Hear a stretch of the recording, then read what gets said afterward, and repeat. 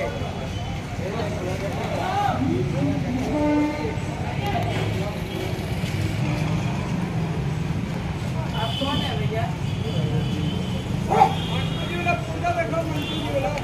देख रहे news for nation और मैं स्वाति पांडे आपके साथ, जहाँ एक तरफ़ बिहार के नए डीजीपी यानी आर एस भट्टी जैसे ही बिहार में डीजीपी का कमान संभालते हैं, अपने पुलिस प्रशासन को अपने पुलिस महकमे में ये ऐलान कर देते हैं और कह देते हैं कि आप आज से अपराधियों को दौड़ाना शुरू कर दिए। तो वहीं दूसरी तरफ़ बिहार में आए दिन अपराधियों का हौसला बुलंद होते दिख रहा है। दिन दिन दहाड़े कहीं गोलीबारी, कहीं लूट, कहीं डकैती, कहीं चोरी हत्या का जो आपराधिक जो घटनाएँ हैं, वो आज सामने आती नज़र आती है।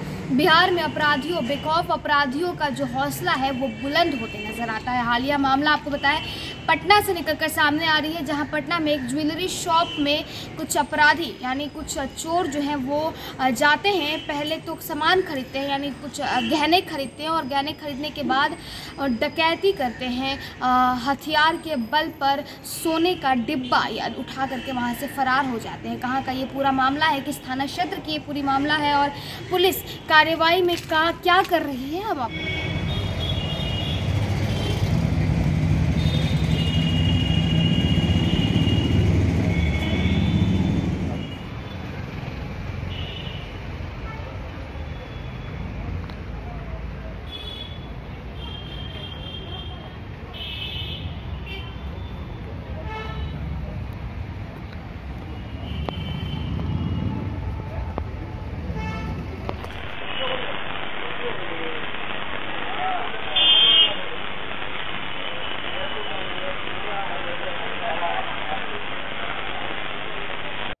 Thank you. अभी अभी राजधानी में पुलिस का इकबाल खत्म होता नज़र आ रहा है। ताज़ा मामला पटना के जक्कनपुर थाना क्षेत्र में। दिन दहाड़े बेखौफ अपराधियों ने बड़ी वारदात को अंजाम दिया है। बताया जा रहा है कि एक स्कूटी सवार दो अपराधियों ने ज्वेलरी दुकान में आकर पहले चांदी के सिक्कों की खरीदारी की, फिर वहीं दुकानदार से सोने के चेन दिखाने को बोला। सुबह लक्ष्मी ज्वेलर्स के मालिक शिशिर गुप्ता ने दोनों अपराधियों को चेन से भरा पूरा डब्बा देकर चेन पसंद करवाने लगे। पीड़ित दुकानदार की माने तो अपराधियों ने दुकानदार के पीछे रखे तकिए की मांग की, जिसके बाद जैसे ही दुकानदार पीछे मुड़ा, दोनों अपराधी चेन के गुच्छे का बॉक्स लेकर फरार हो गए, जिसकी कीमत पंद्रह लाख के ऊपर की बताई जा रही हालाँकि दुकानदार ने कुछ दूर तक चिल्लाते हुए अपराधियों का पीछा भी किया। तब तक अपराधी यार ऊपर पुल का, की ओर तेज़ी से भाग निकले। घटना के बाद पीड़ित शुभलक्ष्मी दुकानदार जकनपुर थाना पहुँचे, जहाँ मामला का मामले को लेकर उन्होंने एफआईआर दर्ज करवाया। पुलिस अब घटना स्थल पर लगे।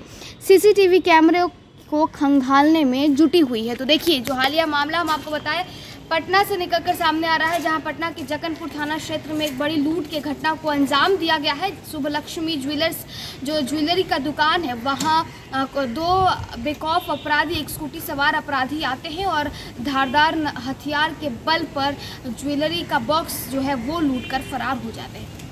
फ़िलहाल इस खबर में इतना ही, और भी वीडियोस और अपडेट्स के लिए आप देखते रहे न्यूज़ फॉर नेशन।